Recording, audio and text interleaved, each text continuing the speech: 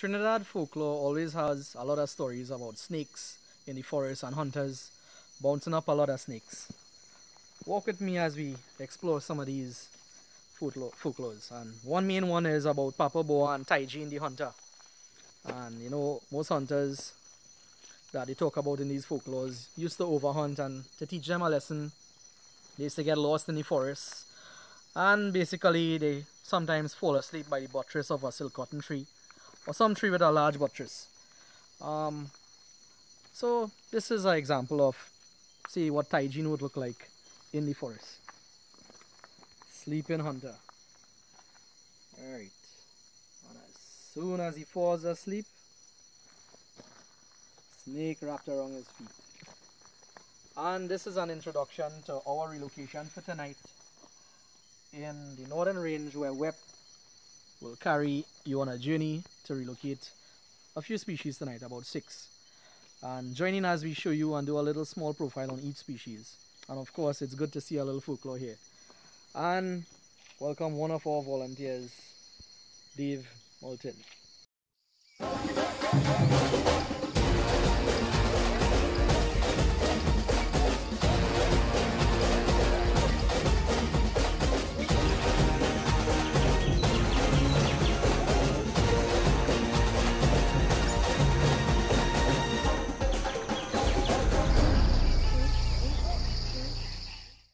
Very good night viewers. This is Wept Adventures again on the go and we are in some natural forest here in the northern range and we are about to relocate one of the Macajuels or the boa constrictor. Um, I believe you may have seen this one before in one of our profiling videos. If not, look out for that soon. And obviously we have our snake doctor here with us as we like to call him Tariq Ali our expert on snakes and handling snakes here in Wept. And he is going to do a nice relocation, but of course say a few words about this particular species before we go any further. Tariq. Alright folks, good night. This is a macajuel boa constrictor. This uh, specimen here is about 7 foot long and she's rather aggressive. Um, this was, what was that? Okay. Okay, alright. This this one was um, given to us from someone who found it near their yard, close to their chickens, and we're just going to relocate it into some natural habitat. Kishan, yeah? You, you seen that? What's that? Look at this. Another one. Oh, these guys are so good at camouflage. Huh? That is a chevron. Yep. Again, and these guys are riddled all over the northern range, especially in these nice niche areas here. This and this actually is a, a really good habitat for for this boa constrictor to survive in. So we're gonna rest him. Tariq is gonna rest him right inside that little spot and he would move on from there. You know, this is a hole in the head is because um, the person who handled this one before mm -hmm. wasn't very friend um, gentle with her. Right. So she's a little feisty. So. Right, and this was actually a. Oh. Okay. All right, so she is already off, and we'd probably give her some space to to move. And actually, I would not give her some space. I'll make sure and try to get as much of the mobility. I think we might need some light inside here, guys. Not directly on her, but you can see how quickly she adapted to this environment. And she has found a nice little hole to go into inside the rocks there. You can see how beautiful skin is and the size and girth. I don't think she could actually fit her whole body. No, yeah. Look, look up there. We'll see her coming out look somewhere further yeah, right on your left there. Right oh. Oh, and here she's coming out now. You see some movement of the leaves. She just made a nice circle and she's coming out there. Camouflage. Right. Keep the light a little bit off from her right a little higher up right and you can see the whole body how she's moving in one way and coming out the other way on top there right so it's good to see that these animals are, are well adapted to where we relocate them and we have our full crew here of volunteers Alright, everybody's on the inside here from Wept and let's just take a nice closing video for enjoying her stay here in the northern range. And this is relocation number two. Uh, another species that we'll be doing tonight. I think you all saw the boa constrictor, the Macajuel before. Um, safely finding a nice spot to stay. Uh, now we have another very famous species here, which is the cascabel. Yes, Very beautiful specimen, really and Tariq. small one. See this kind of um, there's a name for this color. It's a kind of tan. I think it's tan. Right. Yeah, and these babies could be in all different colors. Okay, what one. what length do they usually grow up to? These can get up to seven feet long. Seven feet. Yep. Hey. Right. And diet is uh, small one like this would be lizards, Mhm. frogs, Right. uh, small uh, small mice occasionally. Mm-hmm. When they get bigger, a lot of uh, bats, birds, and rats. rats. Or smaller possums that they could find out on trees. Let's see how But these the- are boreal species. Right, So they spend most of their life, yep, in trees. Just gonna Get a close look at her head here. Alright, so if you look at the shape of the head, triangular. triangular. So have a close look in terms of identifying the specimen, you know what to look at. I'm just gonna set it down here. Switch on and let it go. Alright, so that's actually a really nice shot. And we have Christopher here, of course, taking some some of his regular beautiful shots. So as you can see,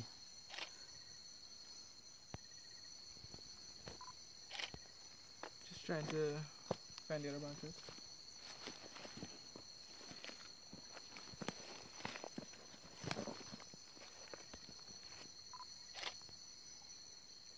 they can extend their body a really good length. Yeah, al- almost um two thirds.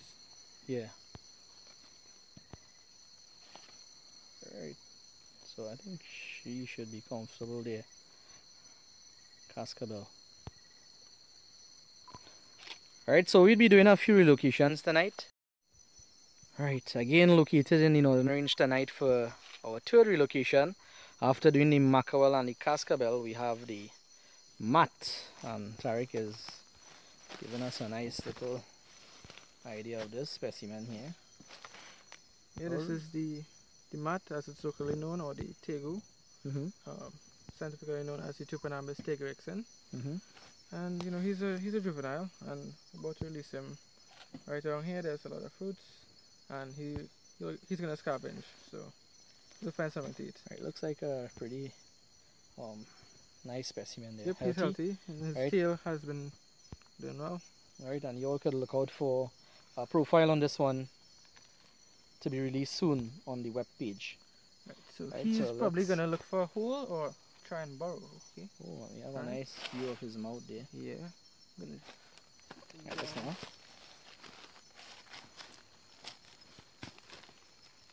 Oh yeah, that's a really nice wide shot of his mouth. seen black spot where his tongue is. Yeah. Right. Very, very interesting. Alright, so just look up at me, please. All right. Cool. Gonna just step back a little bit. I'm gonna count down to one, three, two, Watch it there, Chris. one. Yeah. Alright, so good. He's actually relaxed. That's a nice shot there if anybody has to take any pictures, Chris. Enjoy that moment. Yep. See, it looks like a bunch of leaves on the ground you know.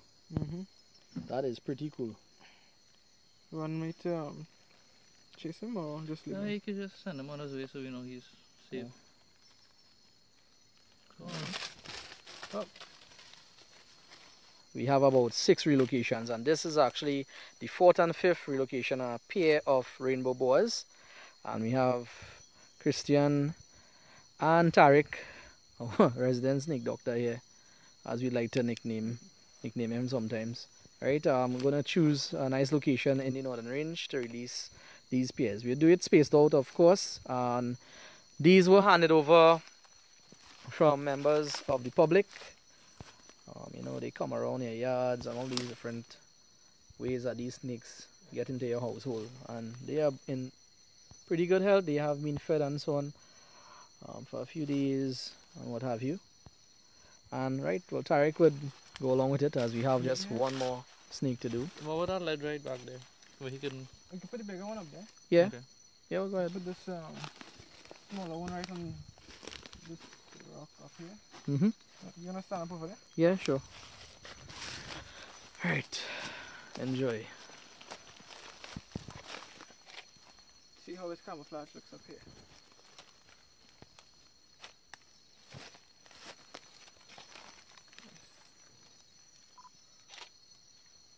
Alright, and as usual, these snakes would quickly adapt to any type of surrounding that we put them into here. And already found a nice little habitat to get into there. Alright, Christopher, you getting that right? Mm-hmm. I'm I'm gonna come back out on the left right here. Yeah, Straight so right on it. nice little crevice here in the rocks. Most likely might come out on that side, possibly. These snakes find some of the coolest places. You could be coming out to any one I of think them. it's coming left. He went up, say maybe. There are a lot of different angles for that snake to, to lose itself inside here. So, um, not seeing any activity. So I guess well, let's, she is um, safe there. Dave, if you could look out for the snake and we'll release you around by the time. Yeah. Get it somewhere a little lower down. Right, right up here by the Yeah. log. Or root. Just watch your foot in. Make sure we have no venomous snakes are on. Alright. Sleep down a little bit. Sit down a little bit. Alright. They have a way of getting themselves around. Alright, Ryan. Oh, Christian, as we call you. good job. Thank you. And good job to the web team as usual.